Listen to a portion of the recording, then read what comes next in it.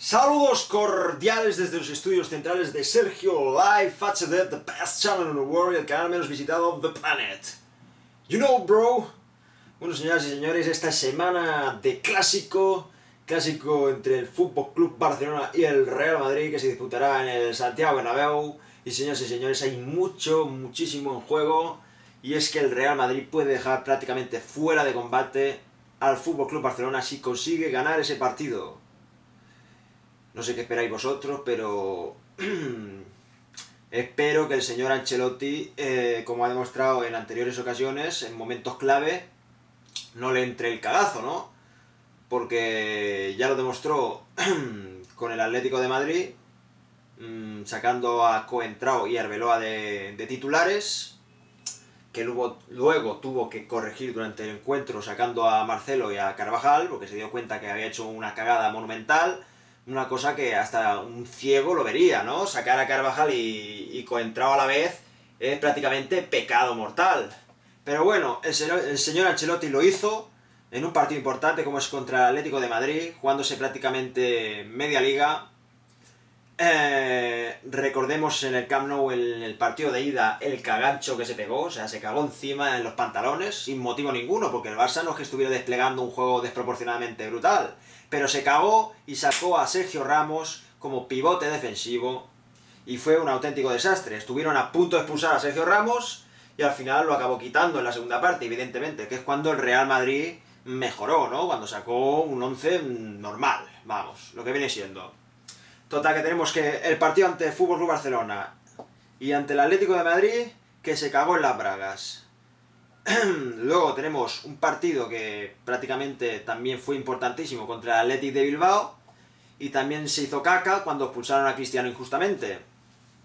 Eh, sacó, empezó a sacar cambios de, de cobarde, ¿no? Cuando se estaba jugando ponerse líder. O sea, era un momento clave y se volvió a cagar en las bragas.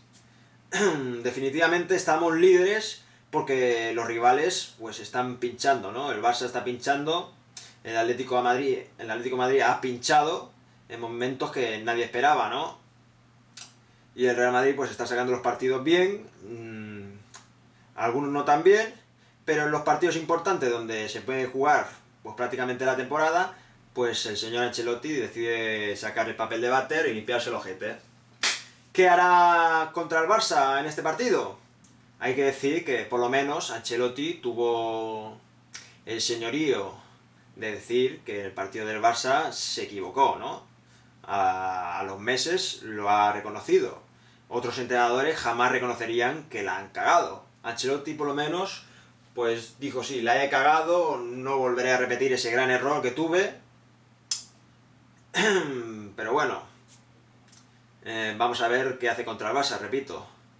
¿Se cagarán las bragas o irá a por todas, que es como debe ser?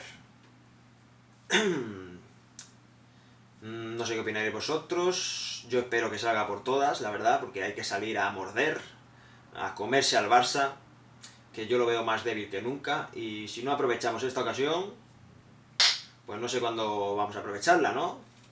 Yo si fuera por mí, iría por todas e intentaría humillarlos, ¿no? Pero bueno, nunca se sabe, ¿no? Tampoco se puede menospreciar al Barça, que es un equipazo brutal. Y partidos como el de ayer, que aunque esté el Barça a medio gas, pues te metes 7 silbando, ¿no? A los Asuna, a unos Asuna que es un equipo, no es un equipo que sea fácil, ¿no? Es un equipo bastante difícil, sobre todo cuando juega en casa, pero bueno, fuera de casa baja bastante y ayer se, se llevó 7, ¿no? Dependerá de cómo podamos frenar a Messi. Si Messi empieza a rendir como ha rendido en muchas ocasiones, pues vamos a tener un grandísimo problema. Pero bueno, es trabajo de equipo, de todos, pararle, ¿no? No solo de un solo jugador. Hay que saberle frenar, jugando como hay que jugar, presionando bien arriba, que no le dé tiempo a recibir y si recibe que esté bien rodeado de rivales. Y bueno, prácticamente, ya digo, estamos jugándonos todo el pollastre, ¿no? Todo el pollo. La liga en juego, señoras y señores. Como pinchemos, el Atlético va a estar ahí para ponerse líder. Eso ya lo primero. Y luego tener al Barça a un punto sería mortal. O sea que hay que ganar sí o sí. No me cabe otro resultado, señoras y señores. Sí o sí hay que ganar. Y bien. Y si se puede humillar, que se humille. Pero hay que sacar los tres puntos por cojones. Y mañana Champions, en un partido que un poco descolorido, porque en la ida ganemos 1-6. Se está hablando de que va a jugar Morata, Gese y Cristiano en la delantera. La gente está siendo muy crítica con Morata. Mm, para mí, a mí el chaval, debo decir que, que me gusta como jugador. O sea, veo que tiene cosas, ¿no? Que sabe jugar y que tiene futuro. Pero claro, el Madrid ya sabes cómo es la cosa, ¿no? Que tienes que rendir sí o sí. Y si no, te comen, te comen con patatas. Y más si eres canterano, ¿no? Si eres canterano y no has costado 50 millones, pues lo normal es que si no rindes bien y no aprovechas las oportunidades, te coman. A ver si tiene suerte Morata y puede rendir bien, porque con la selección sub-21 lo hace de puta madre y mete goles. Pero claro, el Madrid está un poco de bajón porque también Gese le ha comido la tostada. Porque Gese es mucho mejor jugador que Morata, eso está claro, ¿no? Es otro nivel, ¿no? Morata es un buen jugador y, y Gese es top, puede ser top si sigue en su progresión.